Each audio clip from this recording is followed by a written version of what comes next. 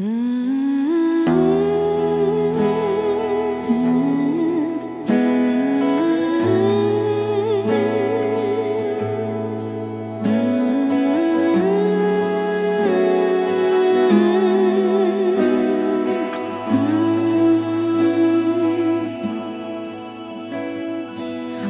on your mind?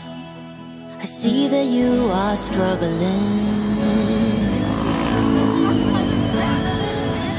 Why wasting time to try to fix this on your own? You said you'd be alright. Around the corner is another day.